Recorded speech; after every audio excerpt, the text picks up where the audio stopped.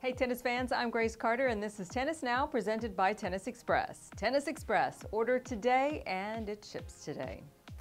In 2005, Christopher Clarey wrote an article in the New York Times entitled Short Players May Be Losing Their Place in Women's Tennis.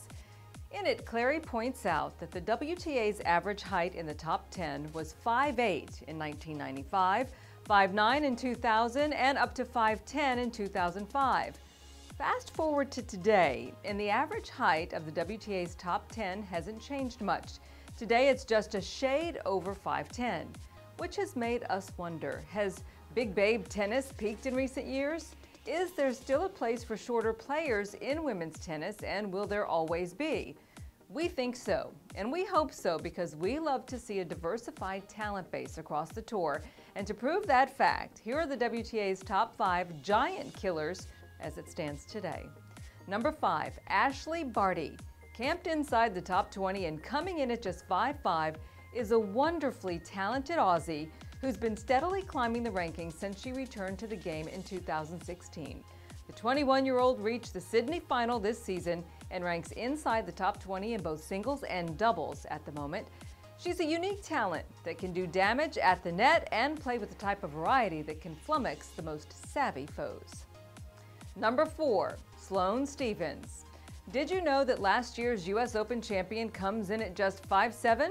That's right, American Sloane Stevens is a quintessential giant killer with her quick feet, fluid movement, and explosive speed. But she doesn't play diminutive tennis.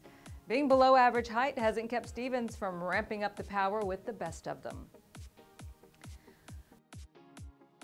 Third on our WTA Giant Killer list is Daria Gavrilova. One of the most entertaining personalities on tour is also one of the shortest women near the top of the WTA rankings. World number 26, Gavrilova is 5'5", and at just 23 years of age has a bright future in the game. Does she have what it takes to reach the top 10 someday? We think so. Number two, Daria Kasatkina, a good friend of Gavrilova and ranked just two spots above her, is one of the more promising young players on the tour. She is world number 24, only 20 years old, and at 5'7", she's built an aesthetically pleasing game that relies on control rather than on power. She has one of the most diverse toolboxes in all of women's tennis. Her running, leaping backhands are her trademark, and we must say they are pretty special. And number one, Simona Halep. All the way at the top of the rankings, there is a Romanian who comes in at just a quarter of an inch taller than another legendary giant killer that goes by the name of Justine Henin. World number two. When Halep climbed to number one in October of 2017, the Romanian became the shortest number one in over a decade when Justine Henin last held that top spot. Like all giant killers, Halep possesses the fighter gene and pretty good athleticism. She's also one of the most technically sound ball strikers in tennis today. So apparently there is room for all sizes at the top of the WTA rankings. While tall players have the power advantage, they simply can't move like the smaller giant killers can. And the five we mentioned aren't the only ones we have our eyes on. How about 18-year-old CiCi Bellis? The 5'7 phenom took out Madison Keys and Karolina Pliskova in Doha this week. Carla Suarez Navarro is 5'4", and we think she would win Roland Garros someday.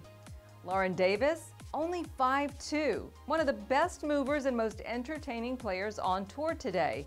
And Yulia Putintseva, all 5'4 of her, has developed a reputation for being one of the most fiery and fabulous players to watch. So what do you think? Who are the best giant killers on the tour and which one is your favorite? Let us know in the comment section below. And as always, thanks for watching Tennis TV and we'll see you next time.